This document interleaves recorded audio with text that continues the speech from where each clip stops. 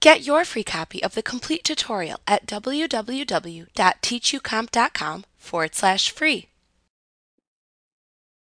You can set up non-inventory parts within the item list. A non-inventory part is used to create items that are bought and or sold, but that are not tracked as inventory parts. QuickBooks will track neither the quantity on hand nor the value of non-inventory part items.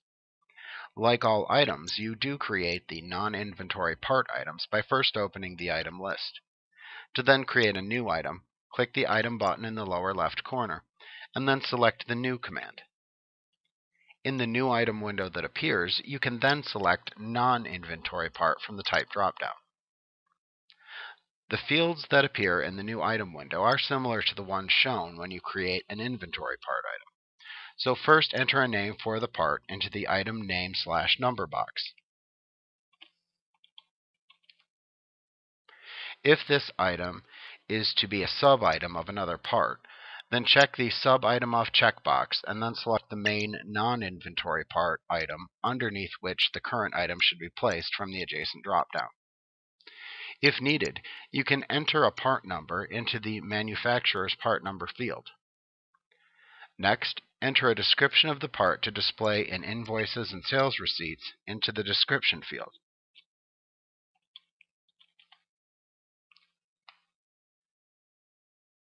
You then enter the price of the item when sold into the price field. And you can set the tax code of the item and assign the amount to an income account by using the Account dropdown.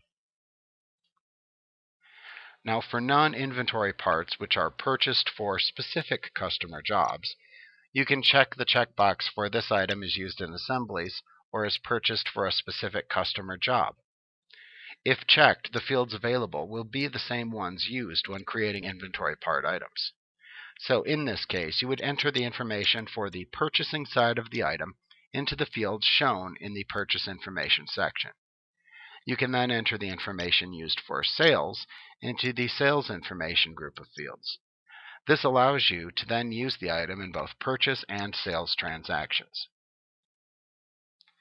Now once you have created the non-inventory part item, click the OK button to save the item into the item list.